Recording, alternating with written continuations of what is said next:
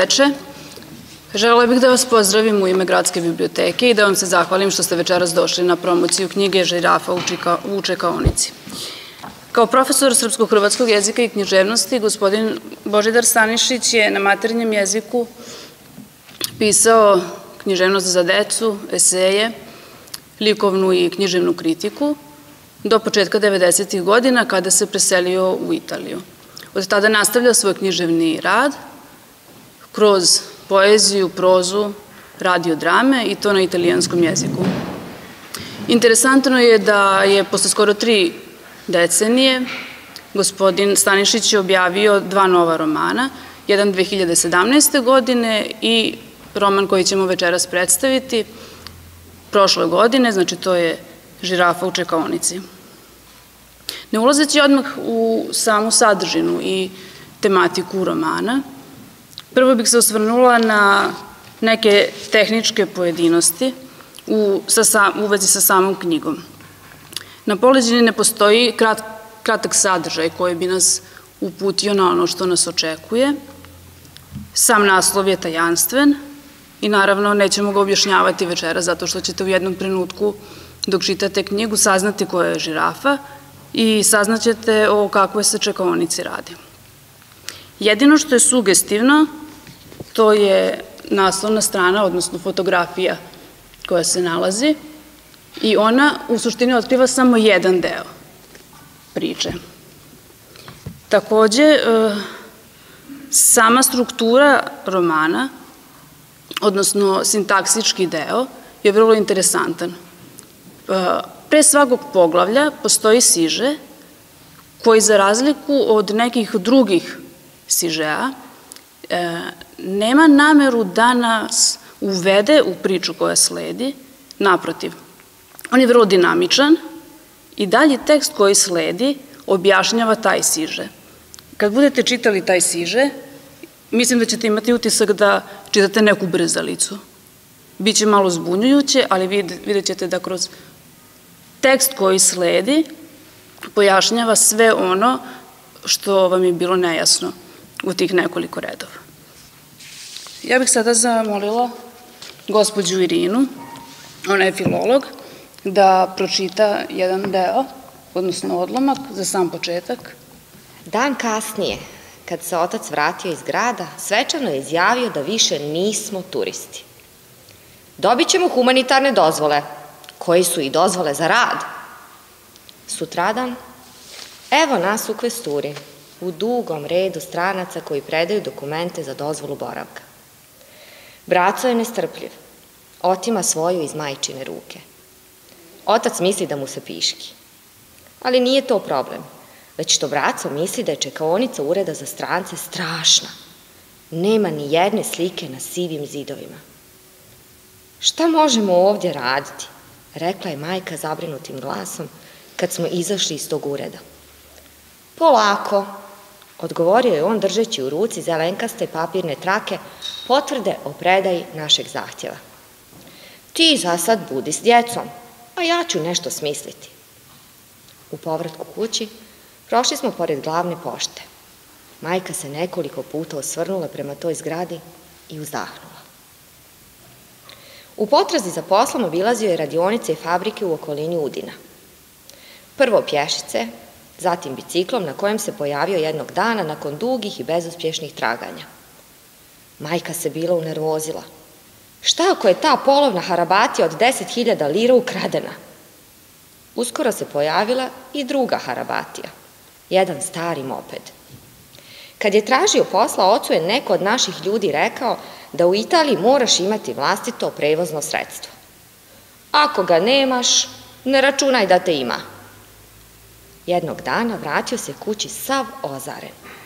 Upisao se na petomjesečni kurs za stolare u jednoj zanatskoj školi, nedaleko od Udina. Koliko je majku obradovala ta vijest. Sjećam se da se nasmiješila, beznadešno kao u trenucima u kojima braco ponavlja nestašluke kojim pravi neku štetu. U sebi je računalo proporcije mjeseci preostalog novca. Tek tada smo saznali da je njegov djed u svoje vrijeme bio stolar na glasu.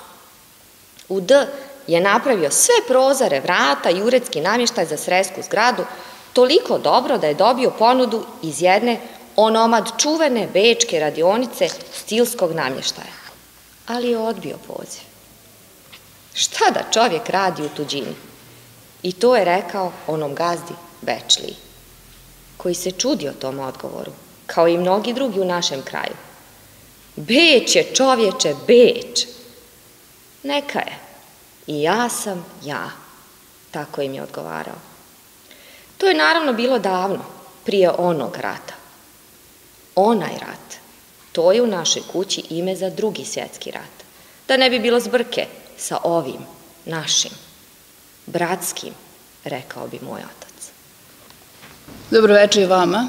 E, s obzirom da se jedan deo, odnosno najveći deo romana odvija u Italiji i kroz delove sećanja u Bosni 90. godina, naravno da se nameće pitanje koliko ste se vi ugradili u samu priču, a pogotovo zbog toga što je roman napisan u prvom licu i to u ženskom rodu i kroz lik jedne mlade devojke koja se bori sa nekim sadašnjim problemima i sa sećanjima i, i događajima koji su se nekad dešavali, koje i pamti, a i za koje je čulo od svojih roditelja.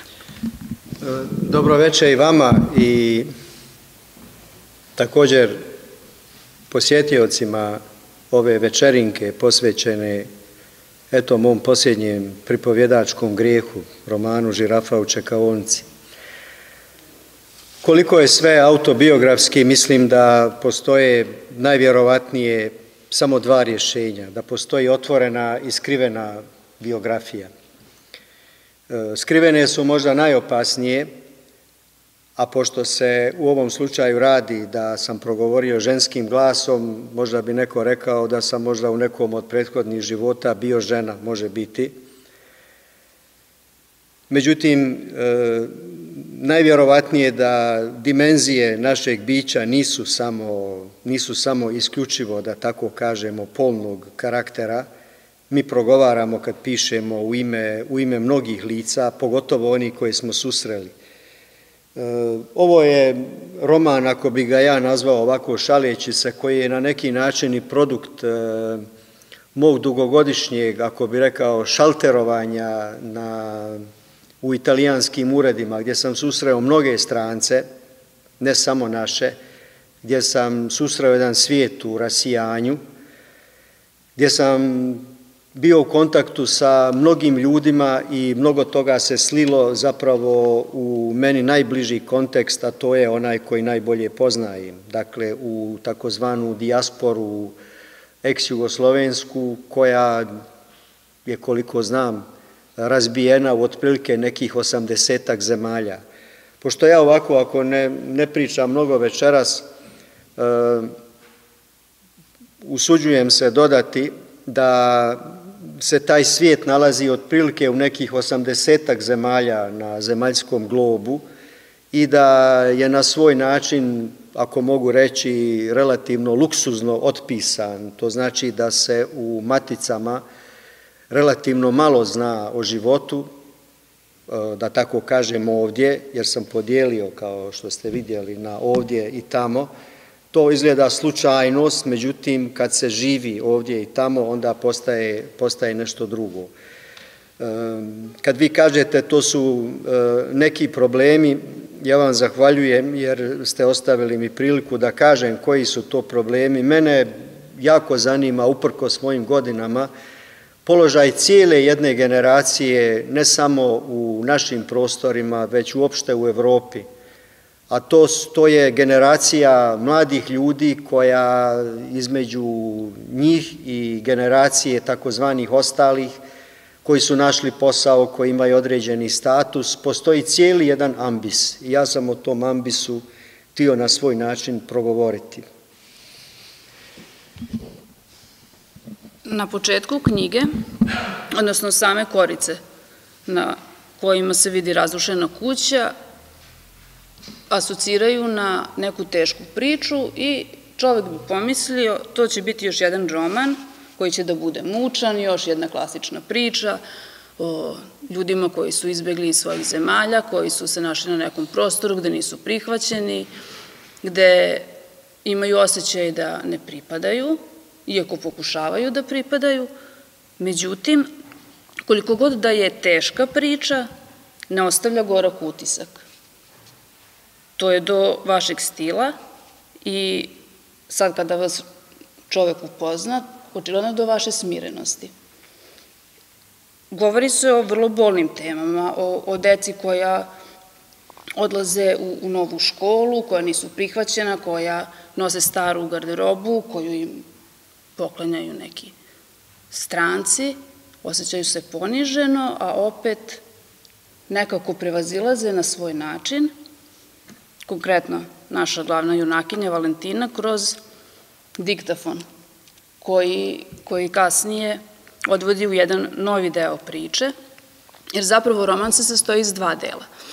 Prvi deo, tu jeste priča o izbeglištvu, o suočavanju sa realnošću na nekom novom prostoru, o svim nedaćama koje se dešavaju i u drugom delu, možda malo neočekivano, dođemo do, do, do segmenta gde se govori o pisanju, o piscu, o mukama pisaca, autora, kako izdati knjigu.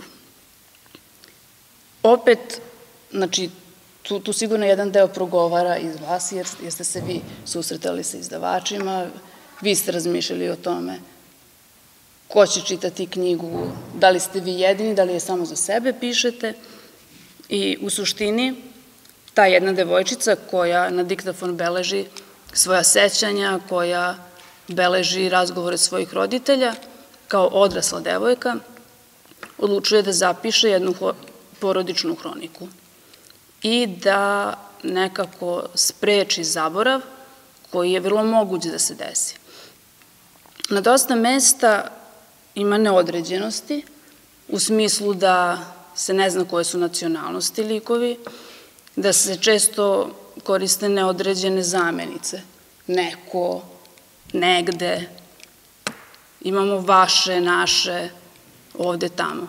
Međutim, te neodređenosti mm, ne sputavaju čitaoca da dođe do suštine. Na kraju te neodređenosti uopšte ni nisu toliko bitne, jer mi shvatamo poentu priče. Kako ste vi došli do tog dela da od jedne, da kažem, devojčice koja prolazi taj neki put izbeglištva, prilagođavanja na novu sredinu, dolazi na ideju da napiše tu hroniku, a profesija joj je, ona je naučnik, da. ona je ozbiljan naučnik. Ma ovako, znate, prvo bih vam rekao, ja uopšte nisam smiren, samo djelujem smireno. Ovaj, naprotiv, e, to je nekako konstantno uznemirenje pred, e, pred svim što vidim. I to što sam vidio u ovih četvrt stoljeća e, nije baš tako jednostavno. Vi ste izuzetno u pravu kad kažete nije pozitivno očekivati jednu mučnu priču, jer već je, da tako kažemo, stvarnost e, e, približno takva. Otud je ova odbrona koja je humor. Humor je možda i posljednja tvrđava u koju se možemo skloniti da bismo posmatrali svijet nekim drugim očima, rekavši možda da je ipak riječ o našem učešću u nekoj komediji, makar i pogrešnoj. Ta mlada žena jeste naučnica i mene je na neki način postaklo što sam na svoj način živeći blizinu u određenom periodu mog života sa mladim ljudima vidio da postoji jedno veliko takmičenje, kako bi se reklo, intergeneracijsko, da je zapravo vrlo malo saradnje i da je mnogo, mnogo hipokrizije, jer zapravo kad ste naučnik vi želite praviti karijeru, kao što recimo kad ste pisac, kad ste umjetnik, vas na neki način zanima makar i podsvjesno da nadmašite druge, možda i prethodnike i tako dalje. E, ja nisam želio, e, da tako kažem, insistirati na cijepanju romana na dva dijela, međutim ta podjela se nametnula, nametnula jer desetine hiljada mladih ljudi, ne samo iz Italije, već iz dobrog dijela Evrope, posebno sa njenog juga, odlazi u druge krajeve, odlazi da nađe, da tako kažemo, svoje e, potvrde za sve ono što su studirali, što su željeli i tako dalje. To se naziva, kao što se kaže, jeli, e, bijeg mozgova.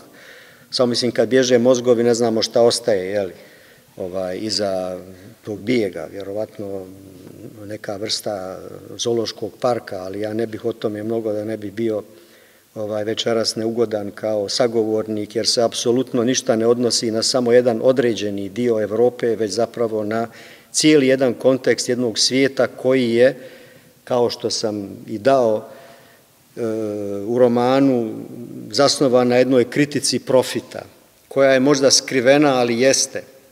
Jeste, postoji, postoji kritika profita, ja mislim da treba reći i svi oni i svi mi koji učestvujemo u tome da profit prihvatamo ili o njemu ovaj čutimo, na neki način smo saučesnici. E, to što sam pomjerio junakinju iz Italije u Ameriku, to nije ništa, to nije ništa neobično. Moje prekookeansko iskustvo je vrlo bijedno, to je desetak dana boravka u jednoj zemlji.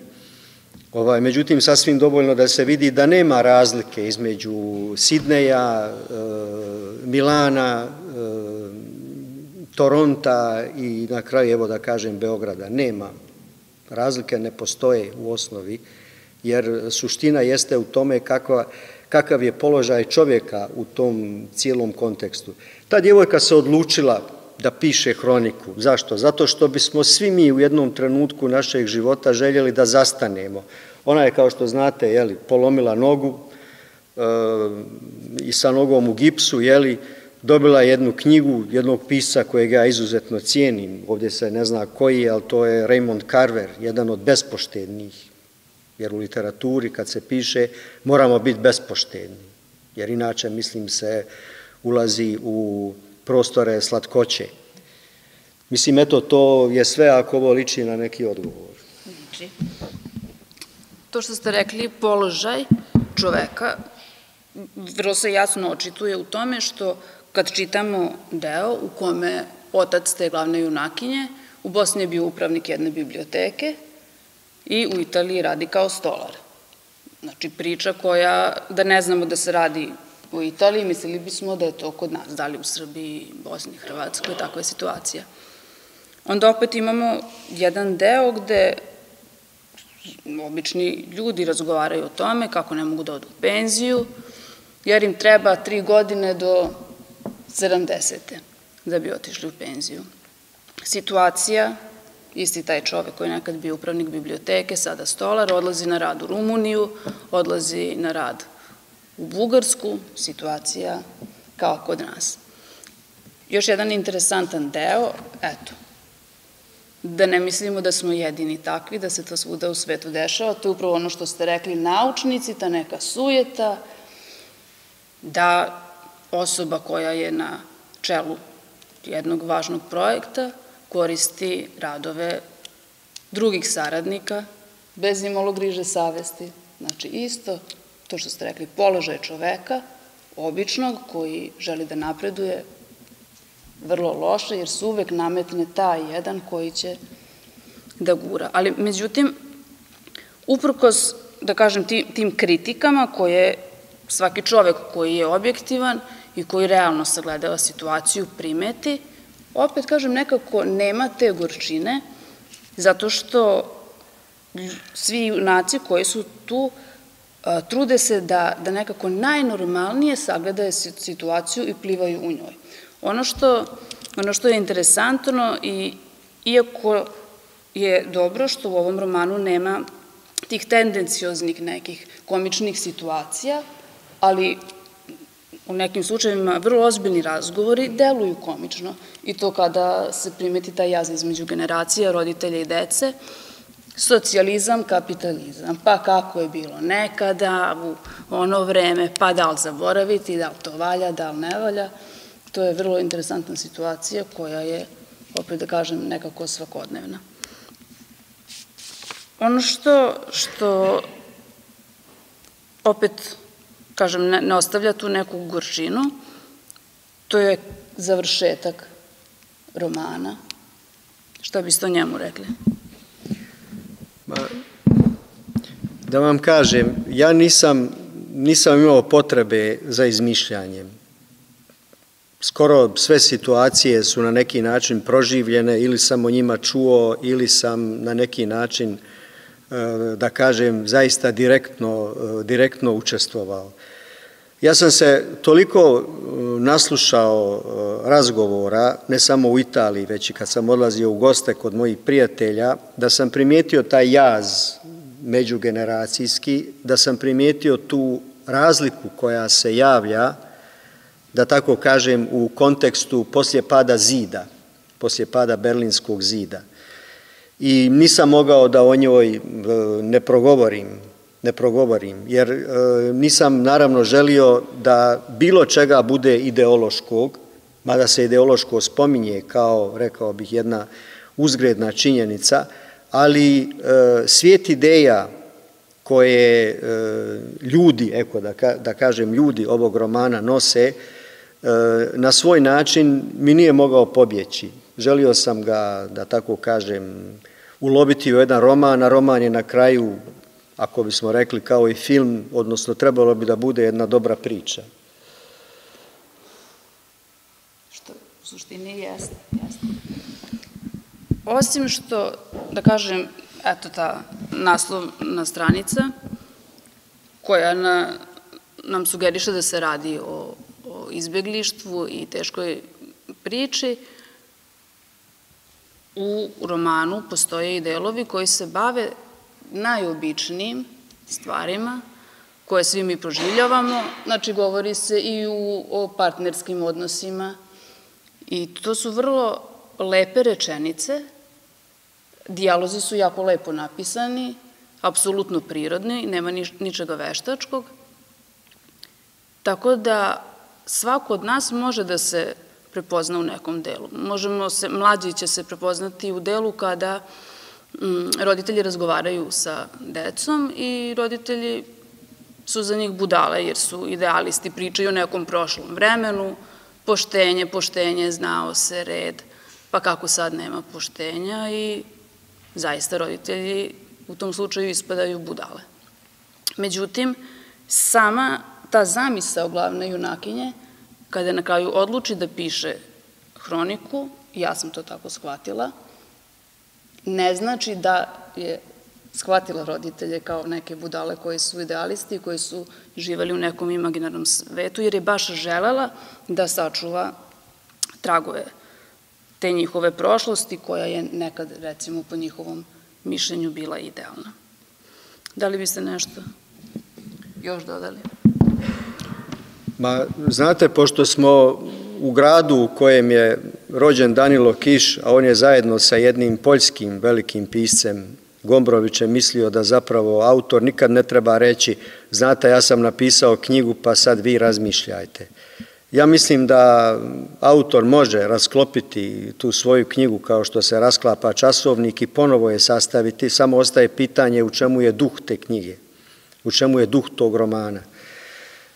Ja ću napraviti jednu digresiju, ako mi vi dopuštate, jer zapravo u zemlji u kojoj živim svakog dana prosjeku se objavi 40 romana, što znači da se godišnje objavi preko 10, e,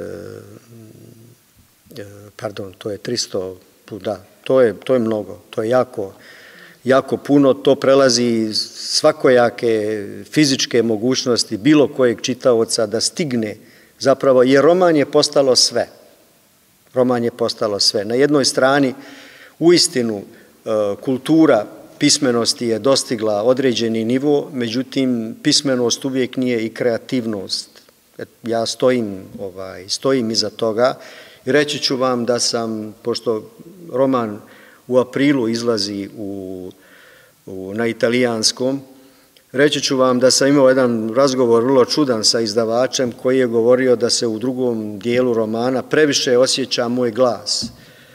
Ja sam rekao, glas je svuda, samo je negdje skriven, negdje je manje skriven i tako dalje. Mislim, rečeno, ovako pomalo konformistički, mi smo tu stvar zagladili jer je stvar već u štampi, ovaj, zašto su se tome dosjetili i tako dalje, jer na neki način dotaći pitanje ne samo u Italiji, već u svim velikim zemljama u kojim vi imate o svakom romanu već pripremljen, da tako kažem, novinski, medijski izvještaj, da je već unaprijed sjajan, imate iscrtana, pocrtana, zacrnjena slova, nikad boljeg dijela, takva fantazija i tako dalje, međutim sve se to zaboravlja kroz mjesec ili dva.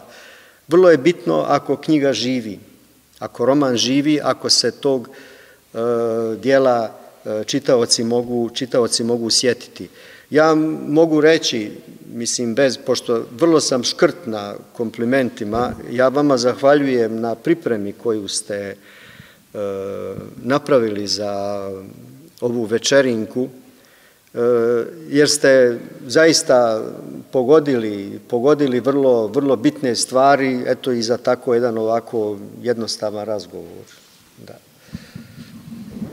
Sad to što ste rekli da o hiperprodukciji knjiga, ja konkretno inače radim na pozivnom odeljenju za odrasle i svaki dan sam u komunikaciji sa čitaocima. Stižu mi nove knjige i sama, znači sa koleginicama komentarišem, bukvalno kad uzmemo knjigu, to što ste rekli, taj deo kad sam čitala u knjizi, rekla sam ja konačno da, ne, da neko to kaže.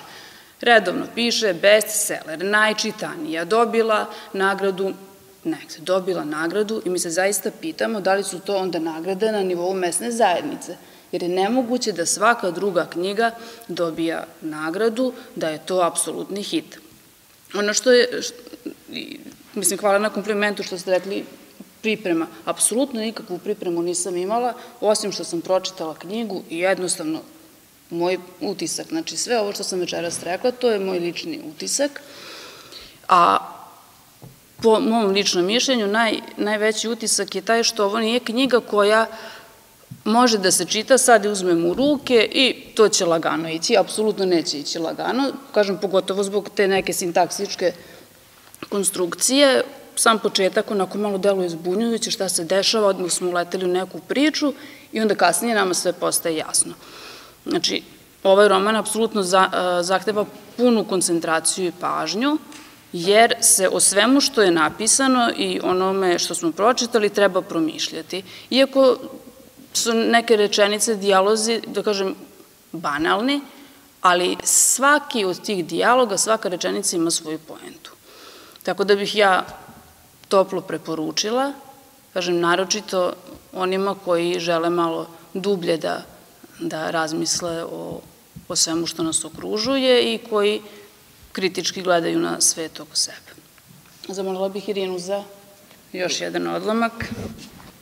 A kad bih se prepustila i bilježenu snova, gdje bih stigla? Nigdje. Koga bi zanimalo da čita kako i nakon mnogo godina sanjam jednu kućerinu i sobe pregrađene zidovima od čaršafa i jednu korpu punu ostataka raznobojnih unica čije se niti poput bezlisnih puzavica uspinju prema iglama koje prsti moje majke vješto ukrštaju. Evo šala za mog oca i kape avijatičarke za bracu i druge za mene. Opet slušam majku kako govori da ima dovoljno vunice za jedan pulover, a neko majci govori da je ljeto i da ćemo se svi vratiti našim kućama i da rat ne može toliko potrejati. Neće nam trebati ni šalovi, ni kape, ni puloveri. Avijatičarke. One prve i posljednje zime u Camp City-u ni King Kong ne bi bio u stanju da nam te kape stavi na glavu. Opirali smo se. Majka se tome čudila. Baš lijepe kape, dušu dale za ovaj period. A vi tako. Ali neću o tome. Neću. Tako bih iskoračila iz sna u stvarnost, pa se opet vratila u san u kojem je sve kao u stvarnosti u kojoj se jednog zimskog dana braco vratio kući uplakan, a sljedećeg dana i ja. Ipak, nakon preseljenja u Udine, pristali smo da nosimo te kape. U školskom dvorištu, za vrijeme velikog odmora, zbog te njima smiješne kape avijatičarke, jedna grupica djece rugala se braci, zatim i meni. I ne samo zbog tih kapa, već i što razgovaramo na njima nepoznatom jeziku. U tom snu Kao i u stvarnosti, moj brat i ja bacamo one kape u koš za otpadke u školskom dvorištu, kod kuće lažemo majci da smo ih zagubili. Gdje? Mi ćutimo, oči nam se lijepe za pod. I baš obje, i baš istog dana. I dalje ćutimo. Pogled ne odvajamo od poda. Ručak je na stolu. Samo to je potom rekla. Dan kasnije otac se žali da ne može naći svoj šal, a tako ga je ugodno grijao. Majka nas gleda. Sva je sumnja i prijekor. Sastavila obrve, skupila usta. One daleke noći sanjala sam bracu i sebe pred velikim kontejnerom. Vičevo. Bacili smo kape, sa njima i jezik koji drugi ne razumiju. Majčin pulover. Nastao, kao i naše kape i očev šal, iz iste čarobno brze igre i gala i njenih prstiju, od ostataka vunica raznih boja, koje moj otac jednog davnog zimskog dana nije htio primiti iz ruku jedne od onih volonterki u kampu, a majka jeste. Mada je pokrete njenih ruku, dok je uzimala onu smećkastu kartonsku kutiju koja je mirisala na deterđent za suđe, pratio neki meni nepoznat smješak, pulover je preživio sve ove godine. Ni moljac da ga gricne, govorila je ne propuštajući da pohvali ulogu platnenih vrećica lavande koje je odgajala u vrtu Lorenine kuće, potom i naše, u San Gotardu. Nije ni moljac luda jede svašta, i on zna gde je nastao taj pulover. Šapnio bi mi na to moj brat. Majka ga je godinama oblačila. Istina, samo u kući. Nikad nisam saznala zašto toliko drži do tog pulovera. Ponosi se svojim ručnim radom, nastalim u jednom sasvim određenom periodu našeg života ovdje. Ali neću više o tome. Hvala. Da li biste možda još nešto želeli da, da kažete u samom romanu, da naše posetioce nekako navedete, ako već do sada nisu stekli neki utisak da, da pročitaju i zbog čega bi bilo vredno. Mislim da smo u suštini objasnili ili rekli, ali ako imate potrebu. Pa znate to, što se tiče objašnjenja, teško je objasniti u osnovi ono što je napisano. Može se tumačiti, može se imati određeni dijalog. Meni je teško kao autoru da kažem da sam na neki način ne samo počašćen što ste ugostili prezentaciju ovog romana, već i cijelom ovom osnovi jednostavnošću koja odiše sasvim određenom dubinom. Zato zahvaljujem mladom umjetniku Stefanu, zahvaljujem Irini, a vama ću reći gospođi Jeleni. Hvala, hvala. Zahvaljujem se svima što ste, što ste prisustvovali večeras. Ukoliko želite da kupite knjigu Žirafa u čekaonici, a tu je isto i, i prethodna knjiga koju je gospodin Stanišić izdao, možete, možete da kupite. Znači, još jednom hvala i eto, nadam se da ćemo se sledećom prilikom videti novi roman i novi da. susret. Hvala. Da, ako Bog. Hvala, hvala. Hvala vama na strpljenju.